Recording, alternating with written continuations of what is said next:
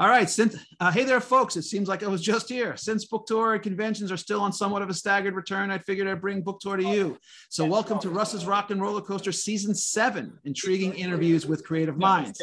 As I'm sure you can tell by our Saturday broadcast, that we're doing something a little different today. Uh, so, for those of you who don't know, for about the last ten years, I've been part of an author collective known as Crazy Eight Press, and as the name suggests, we are indeed a little bit crazy.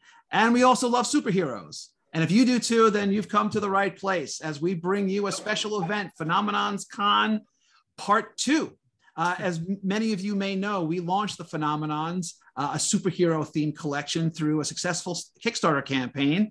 And as a special thank you to our backers and to those who might want to buy uh, the print book after it launches, we wanted to host this live event, uh, giving you an inside look into the world of the Phenomenons and what some of our author contributors had in mind as we dive into this new universe. On our panel this afternoon is one half of Crazy Eight Press, including authors Bob Greenberger. Good evening. All right, we got Glenn Hauman. Hi, folks. All right, we got Peter Hello. David. We got we got Peter. Yeah. I'm here. It's kind of hard to hear you since I'm in a, in a convention center. All right, we got we got Aaron Rosenberg. Hi guys, how's it going? All right, you got yours truly, and last not but not least, the mastermind behind all of today's madness, Michael Jan Friedman. Hello, hello, hello, hello. Oh boy! hello, All right, hello. Grandpa's got to turn down that hearing aid just a little bit. All right, uh, so just a heads up to the folks at home. Since we have the Crazy Eight gang here today, we're going to break the mold um, and do some live bannering through the chat box. So feel free to have at it throughout the show, and the gang will chat with you as we do the live interviews. And of course, please send any comments or questions you have for me uh, or any of the other authors, and we'll get to them both during the show and at the end.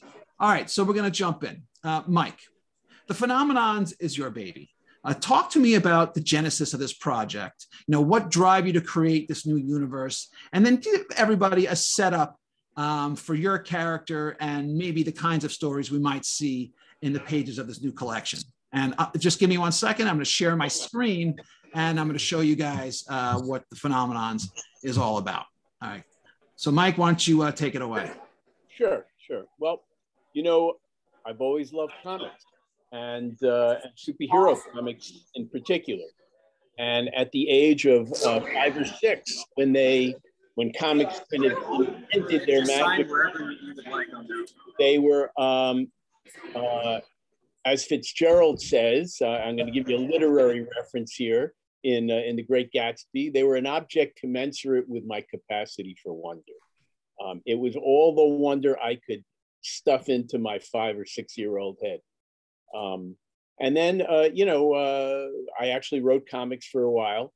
And more recently, um, I edited a series of anthologies, shared world anthologies, uh, called uh, Pangaea for, for Crazy Eight.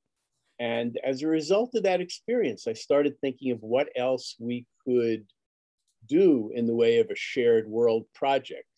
And the thing that kept kept knocking on my skull was superheroes.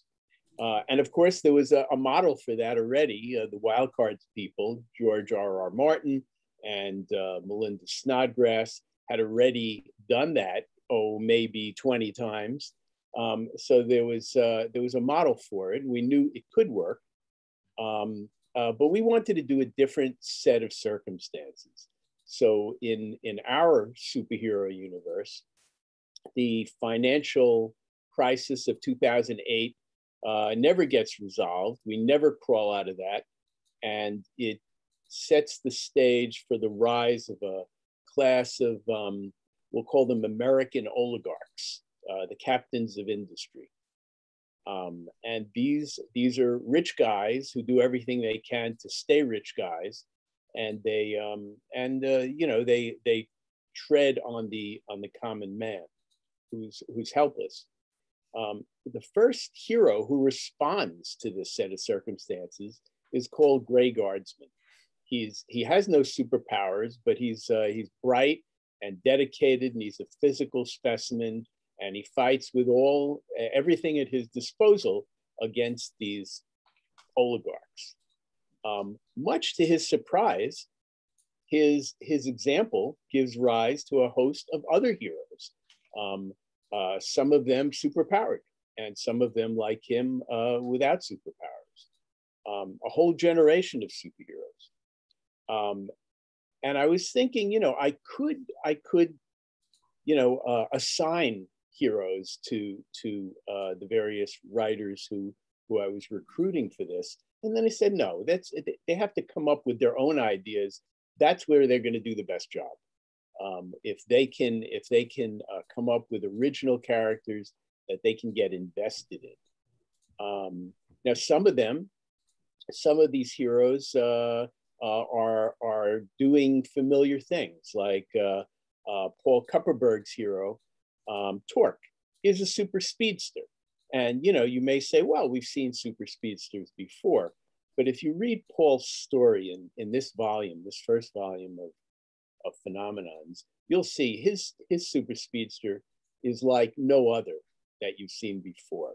Uh, the other super speedsters are pretty much racing toward the future, and his is, is running away. And you'll see why when you read the story. Um, in other cases, uh, our characters are completely original. Uh, we have we have uh, uh Marie Vibert's character is uh, is uh, called Lipstick Lily, and she fights crime with an array of specialty lipsticks. So I dare you to find me find me another hero who fights crime with specialty lipsticks. So it's really um, an array of of of very uh, well thought out and exciting characters. Um, I'll say uh, uh, some of our other non uh, Crazy Eight colleagues, who I should mention in addition to Marie, uh, uh, Keith DeCandido has a hero called Luminosity. Um, Ilsa J. Bick has a, has a cadre of, of intelligent animals who, who are also different not something uh, on the on the beaten superhero track.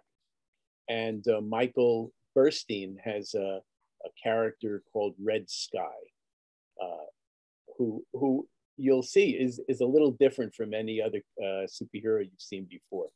So so it, it's been very exciting for me to uh, to get the first look at all these characters and uh, and their stories. But we've uh, we've got uh, the first volume is available in ebook form, and soon it'll be uh, by July it'll be available as a, as a uh, trade paperback uh, to everyone. And uh, in a couple of weeks, around May seventh, we'll be kickstarting volume two. and volume two will have, in addition to the usual cast of writers, we'll also have Alex Segura, who's uh, who's making uh, waves with uh, with his new book, Secret Identity. So we're uh, we're we're bolstering our ranks with uh, with even more talent. So I'm I'm looking forward to the next step.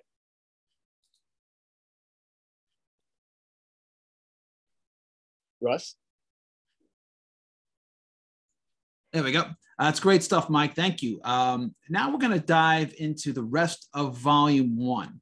Um, so Glenn, oh no, uh, so we got a three-part story, uh, not necessarily a three-part story per se, but we have three stories uh, where their characters sort of overlap a bit. Um, so Bob, why don't you kind of talk to us about your character and your story and why you went in a particular direction? But again, you know, no no spoilers for those who haven't had a chance to read it yet. Yeah, that's fine. Thanks. Um, if we were going to have a superhero universe, just about every superhero universe has some government agency, best known uh, to Marvel fans as S.H.I.E.L.D. and all. So I figured uh, this universe needed something similar to that, but based on the parameters uh, that Mike created for this, this really was going to be a government agency. It wasn't going to be this, you know, connected to some something quasi-governmental or secretive at all. This is a legitimate agency. It's part of Homeland Security called the Cyber Engagement Division. And uh, a lot of the inspiration for this came from a relatively obscure TV series uh, from 1972 called Search. that ran on NBC. And there they had their agents implanted with cybernetics. So they were cutting edge for 1972, but basically they had um, embedded into their skulls uh, transceivers so that they can communicate with um, their central control. And they carried devices that allowed them to um, have cameras that would had infrared and other um, you know lenses that allowed them to see and do things. And I figured by updating this to the time period that Mike's set, setting the universe in, um, the technology has come much, much, much further. And one of the things that I'm hoping to do over the course of the stories is how, at what point does machinery overtake the humanity? Uh, but along the way, we've got our director, we've got our agents. Some are field agents that are uh, veterans pulled from other agencies. Others are trainees. So in my story, I've got the veteran taking a trainee out on the first, um, not an iPhone, Aaron, stop that. Um, um, out on her first field mission. So they're getting to, he's testing to see what she knows in the field, and they're going to investigate um, a supplier that apparently might be double dealing and using the tech being built for the government to be sold to nefarious sources. And while there, encounters Aaron's character. And, uh, and both of our characters benefit from this mysterious entity that Glenn created. So while the stories all stand alone, they do intersect. Make sense? Yep. All right, very good. so, uh, so Bob, uh, you're you wind up overlapping also with. So, Glenn, why don't you talk to us about uh, so your your character, you know, why you wanted to go in that direction, and just kind of give us a sense of the kind of story that that you uh, that you contributed. My character is a character known as Null. Um, Null is a kind of I'm sorry, Russ, just to interrupt for a second. Is the camera actually switching to me? I can't tell. Yes. Oh, it is. Okay. Um, Null is a character. He doesn't really have a name. He goes, he's in fact made serious efforts to wipe out any trace of his existence, any trace of who he was, and to move in the world as a ghost in the machine, for want of a better term. Um, he would be. He is. There's an argument as to whether he is one of the greatest computer hackers ever, or just really well knowledgeable, or whether he has other abilities. But he's his primary goal, no matter what he does, is to stay as anonymous as humanly possible why he's staying anonymous is because he's afraid that something is hunting him, something is looking for him, and the only way to fight it is anonymously. Um, how he finds some of the things and some of the weirdness that goes on in the world. Occasionally, he finds that some people are building strange technologies or that they're going further in places where he hadn't expected technology to be improving. Uh, for what ends, he can't entire. He's been doing a very good job figuring out, and he can understand where most of it's coming from, but he's not getting all of it. He's getting pieces that don't quite make sense. So he tries to keep a tab on them. And in the course of doing all of that stuff, he comes across Aaron's character, who makes absolutely no sense to him whatsoever. This Aaron's character, by everything Null knows, should not exist, should not have the capabilities that she has. There's no possible way. So he's going to be a little bit obsessed with her right now. But at this point, I should hand it over to Aaron, who should explain who his character is. That's right. So Aaron, so you're uh you're you're you're the the third leg of this tripod. So uh what uh what tell us about your character uh, you know, why you wanted to kind of go and that with that kind of character and the the type of story that uh, that you went in. And then when after you've done that, um, if the three of you guys can talk a little bit about your process about you know how you uh, collaborated so that your stories were not sort of um, you know bumping up contradicting each other um, but yet remaining kind of separate stories. Yeah so um, careful mike. That'll definitely make it illegal in florida.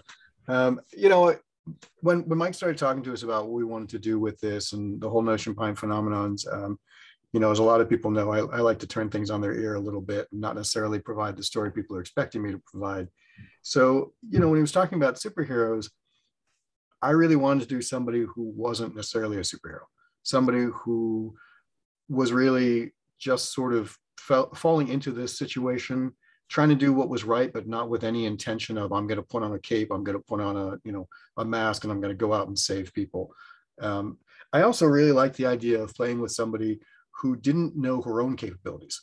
So, you know, the, the great thing about uh, my character, Black Hat, is that if if Glenn's character is mystified by what she can do, she's just as mystified. She is literally feeling her way through this uh, one bit at a time and working out things as she goes. You know, so Mike and I talked about it, and he he liked the idea, fortunately, and uh, you know, it was it was fun to explore. Um, you're definitely seeing the genesis of a character, you're seeing, in fact, this story is how she gets her name. Um, and it's really, you know, she starts out motivated by something very personal um, and honestly almost selfish. And, you know, she is on that path, though, to become something bigger and better than what she thinks she can do. Very cool. Um, if we let her get to that point. Yeah. so, so, so, this is so Aaron, uh, Bob, um, Glenn. So the three of you, in different ways, sort of you know cross paths in each other's stories. So what was what was the process there, so that you know again you guys were writing standalones, but allowing um, your characters to sort of enter into each other's stories. How, how, how did so, that work? You know, it was actually really really easy and really fluid because you know Mike was sort of encouraging people to have crossovers and you know mention each other's characters and things like that if possible because that's how you build that sense of a cohesive world rather than individual stories just boring. floating in space. Um, so you know when we were talking about it we were talking about the meeting uh, we were talking at the meeting and uh, you know bob and i pretty much immediately sort of turned to each other and we're like wait a second you're doing a character with some sort of cyber elements you're doing a, an agency with cyber elements these guys could definitely run up against each other. But, you know, Bob's doing a government agency and I'm doing a complete and utter novice freelancer. They're going to be approaching things from exact opposite ends, from totally different perspectives, totally different backgrounds and skills. And then Glenn sort of chimed in, was like, wait a second, I'm doing something that involves like cyber and hacking and things. So, you know, my character is definitely a behind the scenes sort of figure and could be behind the scenes in what both of you are doing. And so the three of us got to talking and sort of, you know, figuring it out. And it just worked out really nicely that my character's goal and Bob's character's mission and Glenn's character's interest all wound up overlapping perfectly without being the same story. They, they occur and, in the same spot. Right. And then uh, we had several phone calls together, followed by emails back and forth, and then we shared drafts with each other. Um, invariably, Aaron and I would keep complaining about what Glenn did or didn't do or made us wait. Um, and then, you know, Mike said, looks good to me. And the next thing you know, it's in print. I will note that my, I, one other one other thing as far as the timing goes, most of most of the initial work was done by Aaron and Bob. Part of it because at least my one, the two of them could work together very directly, and my character and the stuff that I had was going to be going on behind the scenes, and to a certain extent, neither one of their neither one of their teams were necessarily informed about what I was doing. So it was easier for me to to come in afterwards, after I saw what those two people, what they had done, and add in backfill and say, okay, here's this, here's why I think this happened here. Here's why this character has dropped, you know, this character has dropped the dime to Bob's agency, for example, about the double dealers. Um, and for whatever reason, he hasn't decided to go after them himself or anything else. He just says, you know what, let the let the agency do this. I want to see what they're up to. I want to, you know, I want to test what they're, you know, how they're going to respond to this. Um, and then in the course of this, he saw, you know, we saw Aaron's character come along and went, wait a minute, what is this person doing? Wait a minute, how is this person? What? Huh? What? Huh? And it, it goes on from there. So all right, so we got three. So we've got three individual stories, all kind of in the same mm, loose genre, but they're individual, and your characters sort of um, impede on each other's stories a, a, a little bit, um, while yet going sort of uh, in your own individual directions. All right, very cool. All right, so next, so Peter, um, what do you got for us?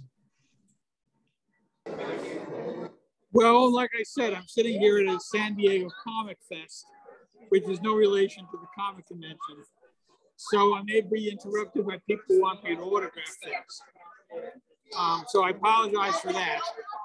So what what but what what what's who's your character and what's the kind of the general idea of your story? My character is Professor Paracelsus. I wanted to base him on something that really theoretically exists in the real world and I decided to go with the Philosopher's Stone, which actually severely predates the Harry Potter books, which is what a lot of people know it from. But there was actually a guy named named Paracelsus who is obsessed with finding the actual Philosopher's Stone, which is capable of transmuting elements. And I thought, if anything would be appealing to a superhero, or perhaps a supervillain. Having control over the elements would definitely be that thing. And what, um, so what, what's the, um, you know, without giving away the spoilers, what sort of, what are you trying to get across in the story itself? I'm trying to get across the concept of this guy who is a superhero, but isn't especially comfortable with the entire concept. And he's actually just trying to live as much much of an ordinary life as he possibly can. And he has a daughter who winds up pulling him into a situation that he doesn't really want to become a part of in the least. So he's but he winds up being pulled into it in order to save her life. So he's a, reluctant, a reluctant hero. Exactly so. Right. All right. Very cool. Okay. All right, folks. So um, before we move on uh, to the next section, I want to uh, bring up a, a, very special guest that we have today join, joining us in our in our project. Um, he's known. You may known may know him from Pokemon, Pokemon Detective Pikachu, Addams Family 2, The Tick, One Day at a Time, and the upcoming shows Ultraviolet and Blue Demon, as well as Koala Man. So please welcome uh, our pal, writer, and producer, Dan Hernandez. Dan, welcome. Hey, hi, everybody. Dan, welcome to the Asylum. Uh, Dan has contributed a story for volume one and has a story planned for volume two. So, what can you tell us uh, about your character and uh, give us a sense of the story that you've written for volume one. Again, no spoilers. No spoilers. And if you can, just even a hint of what maybe is coming for volume two. Well, my characters are named Colosa y Particula, which are the Colossus and the, the particle, basically in Spanish. Um, they are sisters and they sort of have powers equivalent to uh, Ant Man and Giant Man, respectively. Uh, uh, the particle gets very small. Uh, Colossus obviously gets very big. Colossa. And uh, my story is about what happens when the growth goes out of control. And is there a maximum point where the human frame can can uh, can no longer endure something like you know a giant giant growth? And what two sisters who are sort of not on the best of terms will do to to protect each other um, and how to you know how to reconcile their differences both in temperament and in power and in all kinds of different things all set against the backdrop of this great shared universe uh, you know and new york and and all of these awesome things. And I and I think that for the second volume, you know, there's there's uh, there's some questions around why one of the sisters sort of uh, hung up her gear and went in a certain direction, and the que- the answer to that question is addressed in the first story, and I'm hoping to continue to explore uh, the mythology of of these characters, and hopefully beginning to fold in also some of these other great characters that my this illustrious group have created and and are are just so great in the in the anthology. Oh, very very cool. So you've got uh, diametrically opposed powers, and they're probably in conflict with one each other with each other for all sorts of reasons, not the least of which just that they're related. Um, what was sort of the impetus to sort of kind of go in that direction? Well, I wanted to do something that was I wanted, you know, I felt like my family had come to to the Bronx in the 40s from Cuba, and I wanted to, and I lived in New York for four years, and I wanted to do something that felt like authentic to my family's history. You know, the, the main characters' names are are Norris and Ophelia, who are actually my the names of my grandmother and, and one of her sisters. Uh, and I felt like this community was part of the fabric of New York, but at the same time, I didn't want it to be just about look at these, you know, Latina superheroes, look at this culture. I felt like in a more, at least for me, I think that my cultural background is one of among many fabric, you know, sort of interweaving threads of kind of my history and my family's history. And so I wanted it to be a very New York story with a very New York family that felt culturally specific, but also very American and very like the New York that I experienced when I lived there and and that felt vibrant. And I think that one of the things I'm really I thought was so cool about the anthology is there are heroes with all different kinds of backgrounds that felt it feels like New York in a, in the right way, in a good way. Um, and that was something pretty exciting when I was reading through each story to see everybody's different take on that and what that could mean. And, and some of the stories are not in New York, but a lot of them are. And I, I thought that was really cool. So that was the, the sort of the textural, you know, culturally textural background. But then I started to think about, well, what are some heroes? I, I kind of wanted to address an archetype, archetypical heroes. And I really, you know, I, I make mine Marvel. That's where I started. That's where I, you know, reading people like Peter David growing up. Uh, Peter may not remember this. I actually came up and introduced myself to you at a Comic Con in San Diego many years ago. Just said you were a huge influence. So to to have my story be a lot, Ron Marz also contributed to the to the thing. You know, my Mike Friedman is someone I read growing up. All really everyone on this in this book, I've read your work growing up, and it was a huge influence. And so for that reason, I felt like I wanted to kind of go back to the root of Marvel comics anyway and sort of start exploring that giant man, Ant Man, Avengers type powers, but to try to treat it in a way that was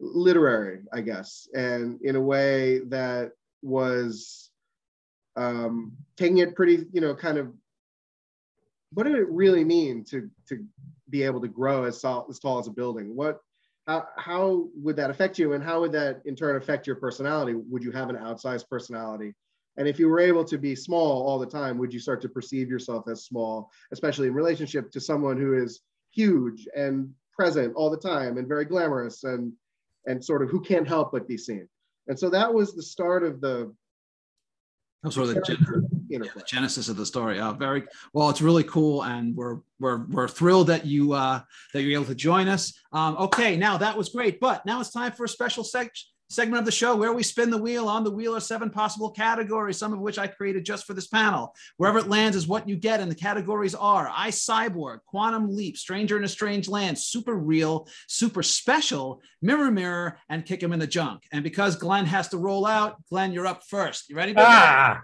All right, here we go. Round and round. I was hoping, where, where's the delete button? Give me out. That's it. Come on, no whammies. There we go. And oh, the big guy gets Oh, what better? Kick him in the junk. Okay, so one of our more popular categories. All right, you can travel to any point in time and space and without repercussion, you can kick someone in the junk, who would it be? Oh, mm. there are there. No, Keith, you. It's not me. I get to kick somebody else in the. And in fact, just for Keith actually bringing that up in the first place, I think I'm going to start with Keith DeCandido.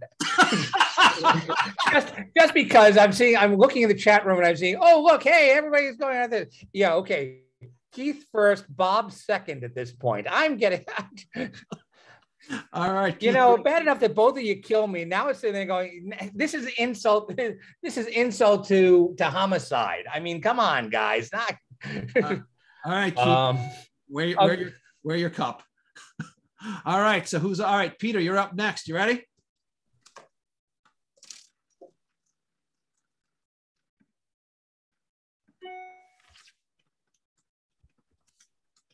All right, Peter's got I Cyborg.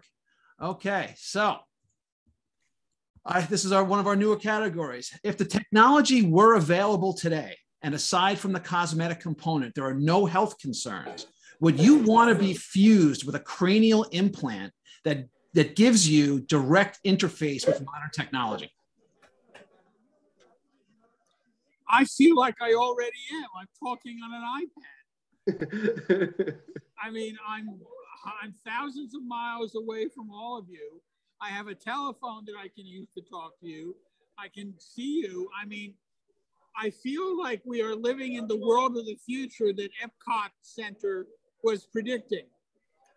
You know, it, it talked about doing this exact kind of thing. So I feel that I'm already doing that. Um, you know, I don't think I would really need to advance myself in any way, shape, or form. I do know who I'd kick in the nuts, though. well, well, well, we'll have to spin that on the next one. All right. So, Bob, you're up next.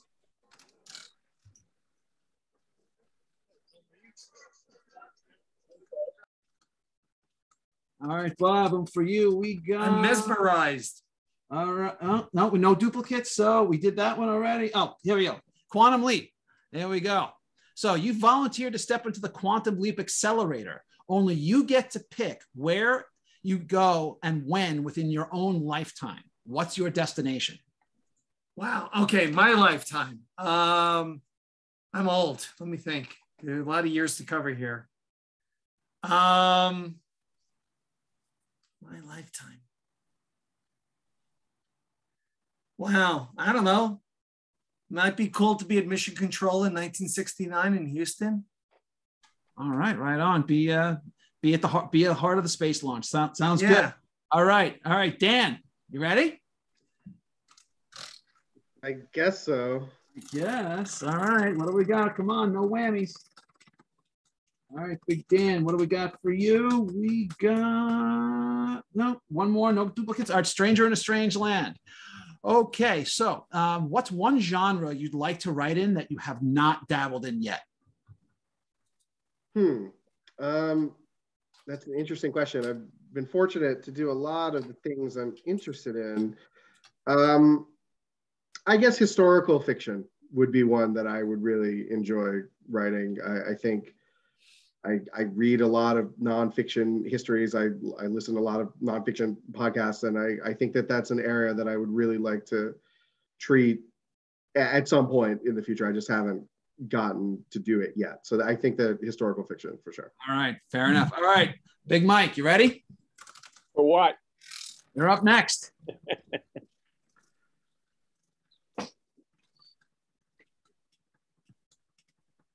right, Mike, what do we got for you? All right, Mirror Mirror, one of our newer categories on the show. All right, so a rift has occurred in the metaverse. You have the opportunity for a face to face meeting with an alternate version of yourself. You won't have any idea how similar or different you and your two worlds are from each other until you are until or unless you meet. And there are no guarantees that you'll like what you see or hear. Um, nor do you have any idea how it might impact you going forward. Do you take that meeting with your other self? I have to tell you, I think my wife and I would give you different answers. I think she would say one is more than enough. I don't think she could handle more than one. But I would like, sure, I'd like to see mm, the other me from from another reality. I'd like to like to see, you know, maybe maybe in another reality I still have hair. That would that would be interesting. Well, that would that would definitely have to be another reality then. So- Yeah, you're not kidding. It wouldn't be listening. so, uh, but I, yeah, no, I, I, I would take that chance. I would take that chance, and I would, I would, uh, I would meet the other me's, me or me's. Means. All right, fair enough. All right, Aaron, ready? What do we got for you? Ready, Freddie? And what does Duck Bob have to say for himself? All right, what do we got? And you got nope, you go super special. All right, this is one of our this is a, the newest category we have so far. Okay, oh here we go. Though they mostly originated in comic books and pulp fiction, superheroes have also appeared in animated shows, live action TV, and movies. There are many to choose from. But what is your who is your favorite superhero of all time? Favorite of all time, I got to go with Spidey. I mean, that's pretty much who I started reading. You know, I'm still a massive Spider-Man fan.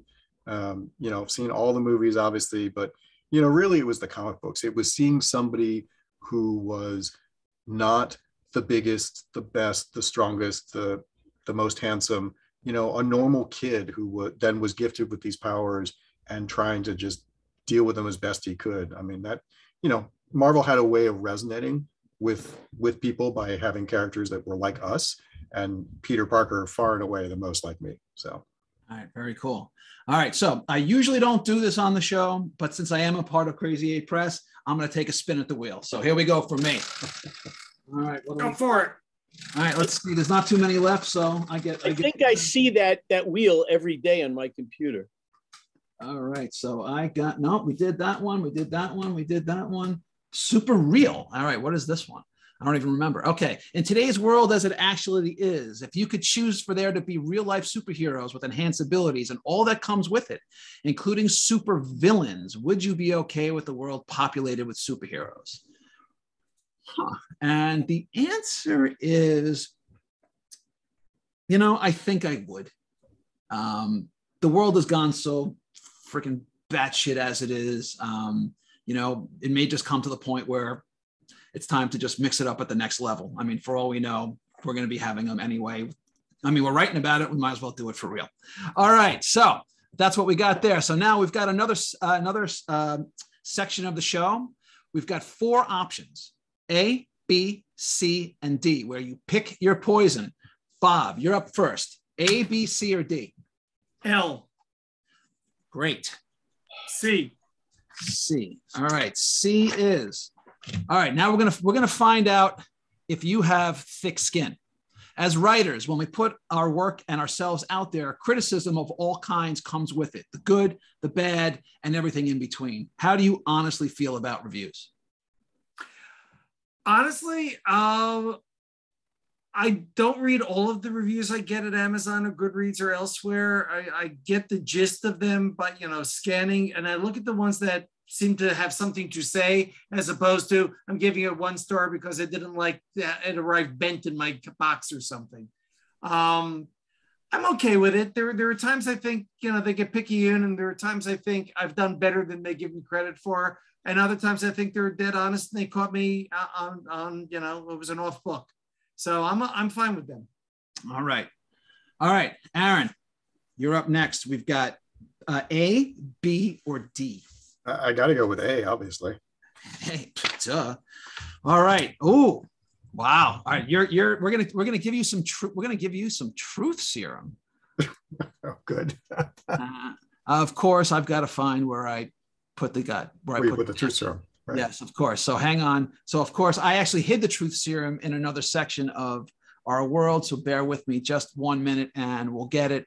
I um, I uh, I was a I was a I was a naughty boy, and I didn't uh, come prepared. So give me one second, and we're gonna do this one. And you didn't want everybody else getting hold of the truth serum obviously that's exactly right. No, this is a good. This is a, this is a good one. So hang on. Prove it. All right, hang on. Is it? I'm sorry about this. I spent so much time preparing and I forgot. live television ladies and gentlemen There we go. All right. So just just give me a second. So here's what we're gonna do. While I'm searching for this, Aaron, that one's yours. I'm gonna skip to another one. We're co- you're you're next. Dan, Vamp, vamp, vamp. Dan, you got you got B or D? Uh, well, I guess I'll go D for for Dan. D for Dan, and then we're coming back to Aaron. Okay, okay. Uh, advice column. So uh, we're both in the writing business to different degrees. Um, what's the best and worst writing advice you ever got? Hmm. hmm. Um, I think the best writing advice that I've ever received is there's sort of two parts of the same question, which is I think that anytime anyone has advised me to try to ch- chase a trend or try to capture something that's already happening, that's always a mistake and never the right thing to do. I think that, you know, sometimes, especially when you're writing screenplays and and movies, you know, because, I don't have as much, you know, fiction stuff as as these illustrious gents, but um, but in TV and movies, you know, there's sometimes there's a trend. It's like, well, you know, vampires are hot. You gotta you gotta write a vampire spec, and that's always a mistake. And I think the t- the times that I've been encouraged to write something that is more personal to me or something that is extremely weird that it seems like only I could ever enjoy, those are the the scripts that inevitably have served me the best because every now and then you run into someone who says, you know, maybe that script is wrong for 99% of people, but you find that one person who just gets it completely. And that, that often leads to really nice. That's how I ended up working on the tick uh, with Ben Edlund, who created the tick, which is, uh, you know, we sent out a script that really wasn't that well received, my writing partner and I. Uh, and he just got it. He just got it immediately. So it was the right thing for the right person. And I, so I think that really following your instinct about what turns you on is always the right thing and trying to chase something is you're always going to get left in the dust on that and that's that's that's i think the best advice i've received all right very cool. All right aaron so we're back. So we, get, we give you some truth serum okay? I'm going to ask you 10 questions. Answer quickly. You ready? All right. All right favorite flavor ice cream? Chocolate. Pi- pineapple on pizza yay or nay? Sure. Bucket list destination anywhere in the world Japan. Uh, scariest movie you ever saw? Candyman. Uh, if you could have one superpower, what would it be? Teleportation. Uh, do you play any musical instruments? Used to play guitar a long time ago. Okay. All right. Uh, if you could be good at one, good at one instrument, what would it be? Probably pick the guitar back up. There you go. You can only have one: wealth or friendship. Friendship. Cats or dogs? Mm, cats, I guess. You can see a live performance, sports, music, theater, whatever, any seat, any venue. What's your choice? Ooh, um, anytime, Beatles. Where? Um, I don't even remember where they played necessarily. So, uh, Wrigley. I think they played Wrigley. K Stadium, baby. There you go. All right. Most impactful. Where were you then? Moment. Um, where was I? Um, when the Challenger exploded, probably. Ooh, yes, that was a that was a gruesome one. Okay, all right. So we got a few more. I'm reordering. I'm reordering these so we can get a, so we can get a, we can get a fresh sample. So there's no so there's no cheating here. Okay, we got this. I got A, B, C, and D. Okay, Peter, A, B, C, or D?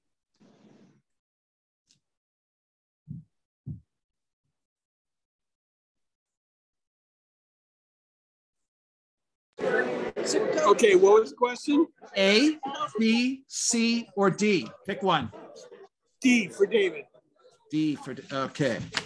Okay, again. Oh no, wait. That's which one is you? This is oh whoops. You wanted D. Okay, again. So that again, thick skin. How do you honestly feel about reviews? How do I honestly feel about what? Reviews. If they're intelligent, I'm fine with it. If they're idiotic, they annoy the living crap out of me. Sometimes they show a lack of intelligence on the part of the reviewer. Um, I wrote a book called Artful, and I was a sequel to Oliver Twist. And I wrote it very much in the style of Charles Dickens. And review people reviewed it and clearly had not read anything by Dickens. And they said, I don't understand why he says things like, Dear reader, you know, and all the affectations I picked up from Dickens, the people who didn't like the book didn't understand. So all they did was display their own lack of intelligence. And that annoyed the living crap out of me. All right, fair enough. All right, Mike. Yes, Okay, We got A, B, or C. I'll take A for Mike. Thank you very much. Okay. I'm going to sound like a jerk, but I work here every day. I think All right, Mike, we're going back. started With this man, so they're all uniform. I'm sorry. I guess a good place would be Uh, Mike, in uh, there or in that corner. Peter, mute yourself. There we go. Uh, all right, so going back to our, our advice column, what's the best and worst advice you ever got? Writing You know, advice. it's, you know, it's funny. In the last in the last segment, uh, they asked uh, you asked Alex Segura this, and he said exactly exactly what I would have said. The best advice is finish what you start. You can't you can't even know what kind of beginning you've got until you write the end. So you know they have to work together, and and finish what you start. I think is is the is the best advice.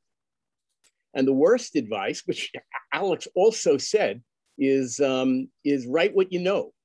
You know, if I if I only wrote what I know, I would never have written anything. Uh, I've written 30 plus Star Trek books.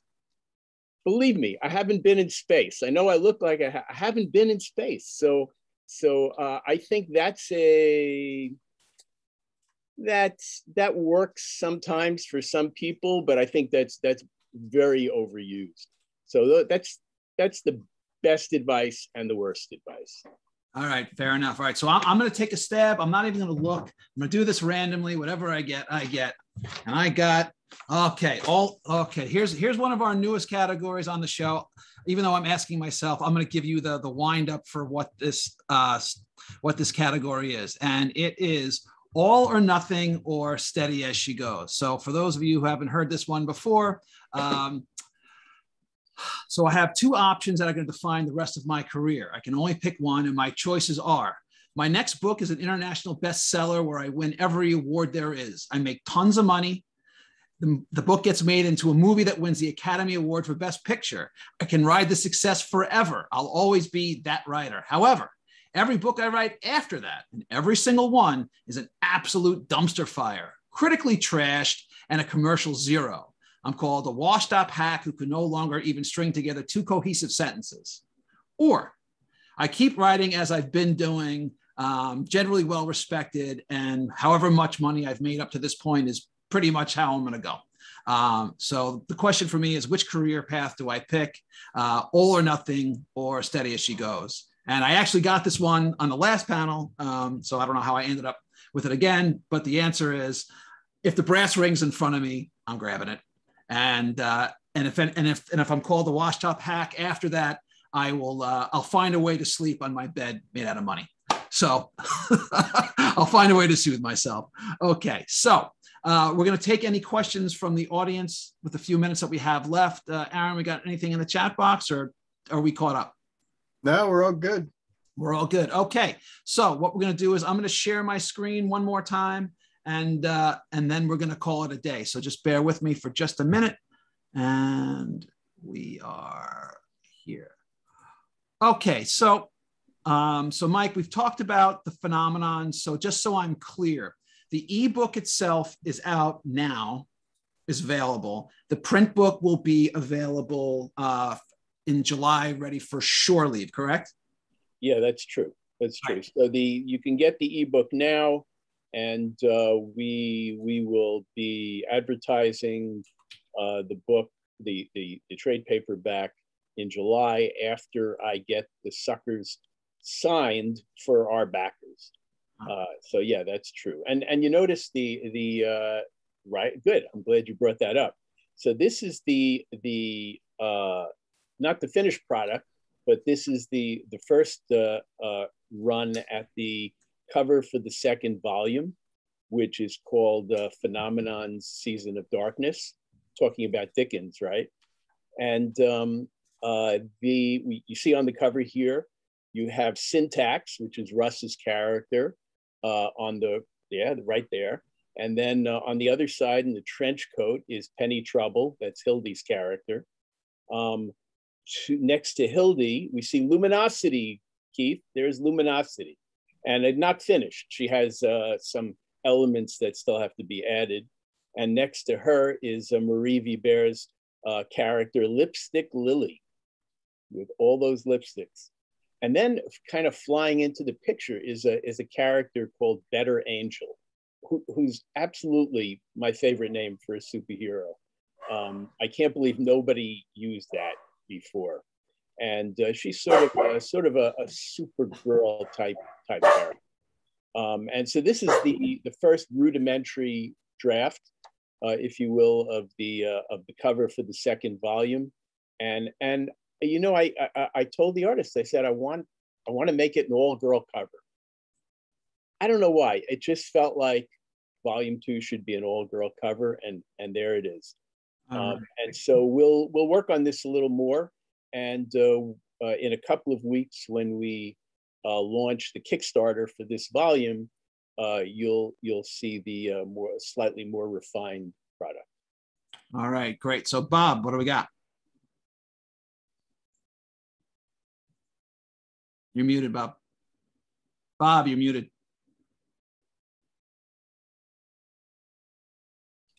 Sorry about that. I don't know when I'm muted. Um, this is Above the Ground. It is a novel coming out in October. I co-wrote it with the uh, CEO of Heavy Metal Magazine, Matt Medney, who's uh, uh, about to get married in New Orleans right about now.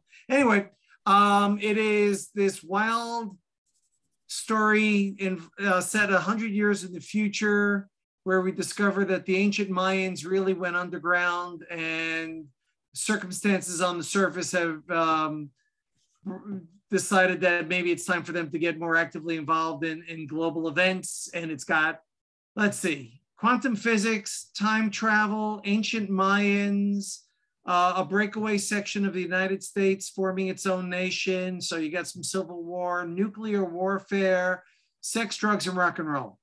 Uh, and I've been uh, spending the weekend researching for book two, which I will be writing over the summer after I write my story for uh, Phenomenons 2 Electric Boogaloo.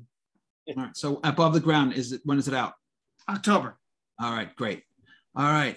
Uh, whoa, whoa, what do we got here? Hold on. I don't know why this image is coming up so big, but such is life. Duck Bob takes over the world. Yes, he does. Good God. Big image. I don't know. Can't make it smaller. So what do we got? You know, I just went with the the classic, uh, in part because if not for No Small Bills, which is the first Duck Bob novel, of course, uh, Russ and I never would have met. That's so. Wow, you're right. That is true. Right, um, because of course Russ and I met uh, at a at a PhilCon That's years right. ago. Yes. Wow. Russ was in the dealer's room selling finders keepers, That's right. and uh, I stopped by and I was curious about it and asked him about it. And he's like, "Oh, it's a science fiction comedy. I know nobody does that." And I said, "I do that. I have a science fiction comedy out too." And then we started talking. It turned out we were both from New York, and uh, yeah, you know, friendship was born. So plus, you know, No Small Bills was my my first um, Crazy Eight book, uh, second one that we put out just in total, um, and it's also you know the only the only book I've ever completely pantsed. I didn't have a plan going into it other than just to write something very fun and very silly. Uh, you know, spawned three sequels and a whole bunch of short stories afterwards. Still one of my favorite characters ever to write. So yeah, kind of had to go with it. All right, very cool. All right, uh, so on. I'm going to do this real quick just for Glenn because he couldn't make it. So we put out uh, an anthology some years ago that keep killing Glenn because let's face it, if anyone needs to be killed repeatedly, it's Glenn Hauman, and we all took our we all took our shots at him, and boy, did we have a good time doing it. All right, Dan, what do we got? Well, I just put up uh, Pokemon Detective Pikachu. It's a movie that I wrote along with my partner Benji. Uh, I'm really proud of it. I'm really proud of the way that it turned out. I, I'm. It was awesome to be able to work with some of my favorite actors like Ryan Reynolds and Ken Watanabe. Justice Smith is incredible, and uh, it's just a fun movie. And I think a lot of people have had a chance to go back and discover it uh, during the pandemic, which has been really rewarding for me. Um, so yes, I, I'm just really proud of it, and and I think it was kind of the thing that transitioned me into sort of the fantasy science fiction space that I really have always wanted to be playing in. And, and thanks to this movie, that that's allowed a lot of things to start to happen in in my life. So uh, yeah, it's just a fun movie to watch for everybody, and and I'm very proud of it. So Dan, so just uh, while we don't have the image here, just cue up. You've got some new stuff coming coming to the screen. Tell tell tell us what. You Yes. So in in probably sometime this summer, I have a show coming to uh, the Disney Channel that is about a Latina superhero called Ultraviolet, and that will be on the Disney Channel. I think sometime this summer. I created that show. Uh, it's called Ultraviolet and Black Scorpion now, um, and it's basically about uh, a young Latina girl in Los Angeles who inherits a lucha libre mask that has magical powers and it turns out her uncle has been fighting crime in disguise of the Black Scorpion, a lucha libre superhero. So that'll be on the Disney Channel, and then in probably in the fall or late fall, uh, maybe around not 100%, but late fall, early winter. Uh, I have an adult animated comedy coming to Hulu called uh, Koala Man, which I am show running along with the creator of the show, uh, Michael Cusack, who also recently had the show Smiling Friends. If anyone saw that on Adult Swim, it's really funny. And um, I, have been show running that, and we're in post production on that now. We have an absolutely incredible cast that I'm not allowed to talk about, but will be, you know. Oh, what's that about? Oh, what a watch! If anyone watches, oh, follow my Twitter for. They will kill me. They will kill me if I if I if I spoil it. But I I all I can say is that uh, there are some very famous people in the show, and it's pretty amazing. so that's a little teaser. Uh, it's pretty it's pretty hardcore. It is definitely for adults, uh, but it's it's got a good heart. It's not a cynical show at all, and I'm I'm really excited for people to see what we've been working on. All right. Well, uh, with a tease like that, now I'm going to hold. You got to promise that you're going to come back on the show when you can talk about it. I promise I will come back on the show when I can talk about it. All right, I'm ho- I'm holding you to that. It's a, ver- it's a verbal contract with witnesses. It is right. it, that is that is impending, and both of those things should be out uh, before the end of the year, which is pretty exciting to have two things kind of on deck. All right, that's great. All right, so I think we lost Peter. So and we don't have an image for him anyway. He didn't send me one. So that's our show, folks. Um, I want to thank Bob and Aaron and Glenn, Peter, Mike, and Dan for stopping by and for everyone who's watching at home. If you haven't already, order your copy of the Phenomenons Volume 1 and jump on the Kickstarter for Volume 2, which will be coming out in the next, next couple of weeks. I'm your host, Russ Colchamiro, and I'll see you all next week. All right. Thanks a lot, folks. Take care Bye, now. Everybody. Bye, guys. Bye, nice to see everybody. All right. Take care. It was great to see everyone. Thanks Bye. Bye.